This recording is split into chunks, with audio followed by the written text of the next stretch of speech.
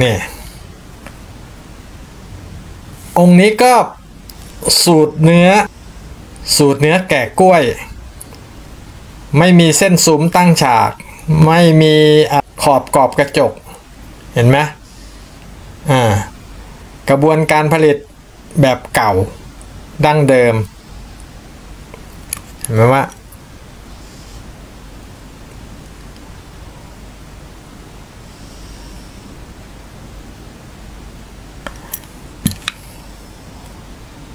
เนี่ยเราดูเรารู้ใช่ไหมว่าเป็นวัดระฆัง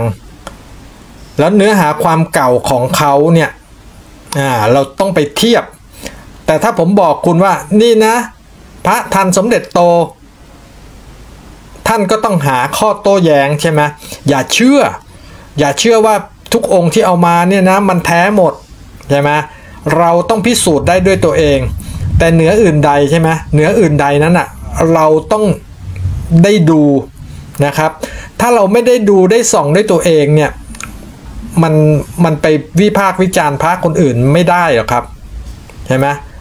อ่าคือหลายๆคนก็บอกว่า อย่างเงี้ยตัดชิดนะอ่าแต่เพื่อนๆสังเกตดูนะว่า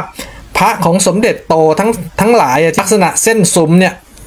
จะไม่ได้ตั้งฉากใช่ไหมอ่าลักษณะเส้นซุ้มเนี่ยจะเป็นแบบนูนต่ำ นะ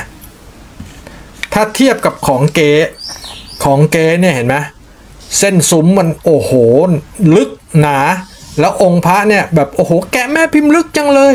ก็กระบวนการผลิตแบบนี้เนี่ยมันเป็นพระที่สร้างจากเครื่องมือทันสมัย เครื่องมืออย่างนี้เนี่ยมันเป็นเครื่องมือหลัง 2,500 แล้วอะใช่ไหมหลัง 2,500 แล้วอ่าแล้วเขาล้อพิมพ์อะไรที่ไหนยังไง โดยส่วนตัวแล้วผมจะตีเป็นเก๊เลยนะครับ เห็นไหมว่าการเรียนรู้พระเนี่ยมันไม่ยาก